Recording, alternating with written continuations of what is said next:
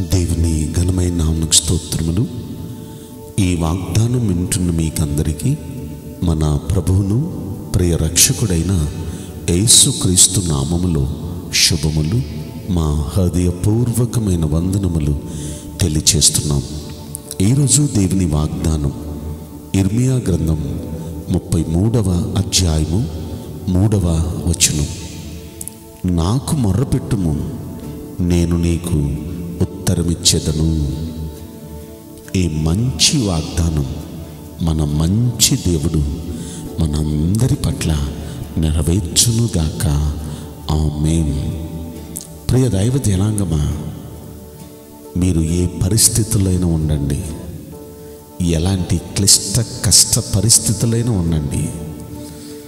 ఆ పరిస్థితుల్లో దేవుని వైపు చూచి దేవా అని ఆ దేవునికి మొర్ర పెట్టండి ఆయన అంటున్నాడు నేను మీకు ఉత్తరం ఇస్తాను జవాబిస్తాను. మన దేవుడు ప్రార్థనలు ఆలకించే దేవుడు అని ఆయనకి పేరుంది. ఆయనకి ఎన్నో బిరుదులు ఉన్నాయి ఆ బిరుదుల్లో ప్రార్థనలు ఆలకించువాడా అనే బిరుదుంది ఆయనకి. తప్పక మన ప్రార్థనలు ఆలకిస్తాడు తప్పక జవాబిస్తాడు.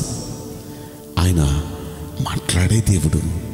జవాబిచ్చే దేవుడు ఆలకించే దేవుడు నమ్మండి మన ప్రతి ప్రార్థనలకు జవాబిస్తాడు.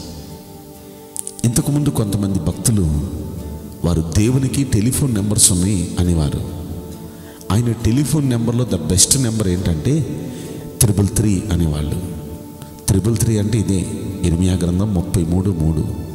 నాకు మొర్ర పెట్టుకో నేను నీకు ఉత్తరం ఇస్తాను. కష్టకాలంలో నిజంగా మనకి ఎప్పుడైనా సరే anywhere any time at any circumstances ఏ సమయమందైనా ఏ స్థితిలో మనమున్నా ఎలాంటి శోధనలో పరిస్థితుల్లో మనమున్నా మనం అక్కడుండి మొరపెడితే మన దేవుడు అక్కడికి వచ్చి మనం రక్షించే దేవుడు.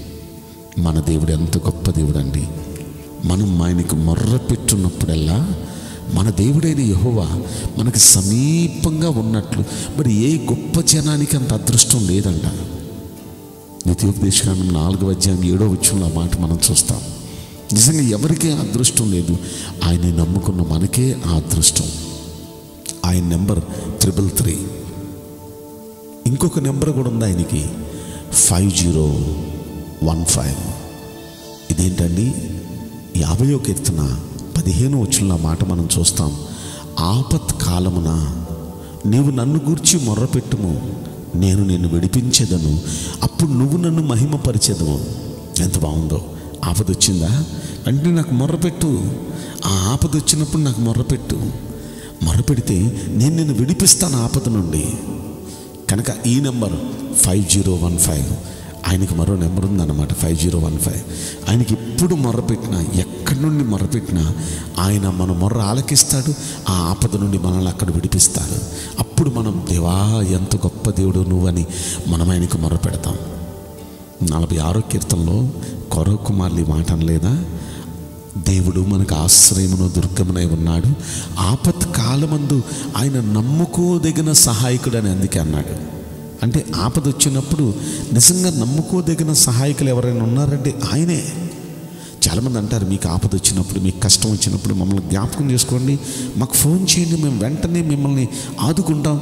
వెంటనే వచ్చేస్తాం మీకు సహాయం చేస్తాం. అంటూ ఉంటారు కానీ నిజంగా ఆ టైంలో వాళ్ళ ఫోను పనిచేయదు. ఒకవేళ ఫోన్ పనిచేసిన మేము ఎక్కడో ఉన్నాం బిజీలో ఉన్నాం అంటారే కానీ నిజంగా మన దగ్గరికి వచ్చి మనల్ని రక్షించగలిగిన వాడు దేవుడు తప్ప మరెవరు లేరు. ఎనీ టైం ఎనీ సర్కమ్స్టాన్సెస్ ఏ పరిస్థితులున్నా ఏ సమయమందైనా సరే నిజంగా మనము ఈ విధంగా దేవునికి మనం మొరపెడితే దేవుడు దిగొచ్చి మనకు సహాయం చేస్తాడు.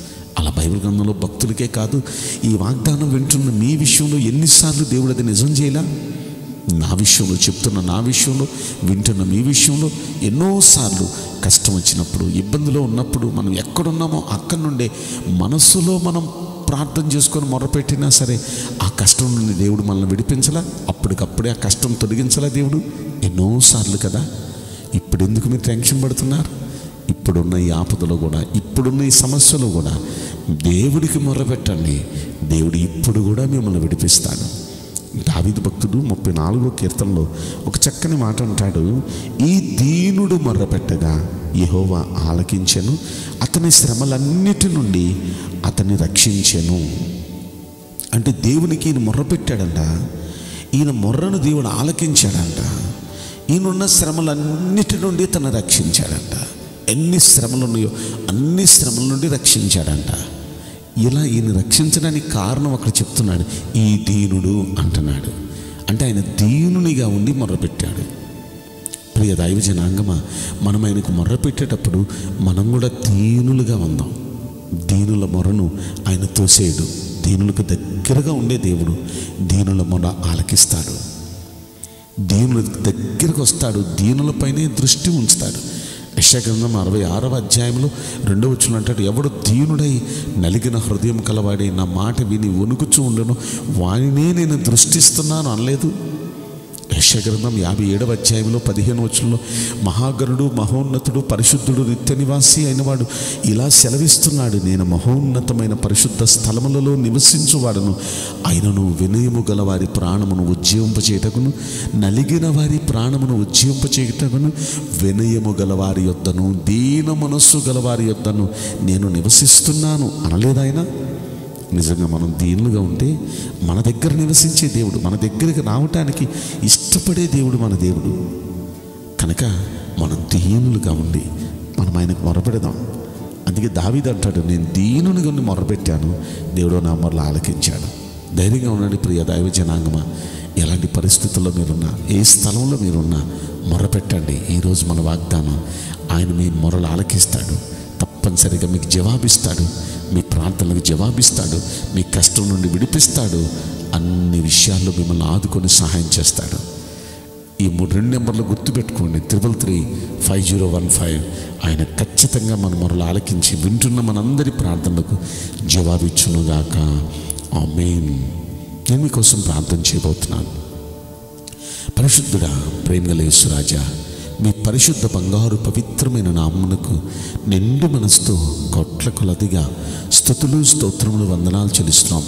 ఈ వాగ్దానం వింటున్న ప్రియుల జీవితంలో దయచేసి ఈ వాగ్దానం నెరవేర్చి కృప చూపించమని దయచేసి మీ బిడల ప్రార్థనలు మొరలు మీరు ఆలకించి జవాబులు దయచేయమని ఈ కొద్ది మనవులు నజరుడైన యేసుక్రీస్తు ప్రశస్తమైన నామంలో మిక్కిలి వినయముతో ప్రార్థించి బ్రతిమలాడి వేడుకుంటున్నాం. ప్రియ పరలోకపు తండ్రి amen may God bless you thank you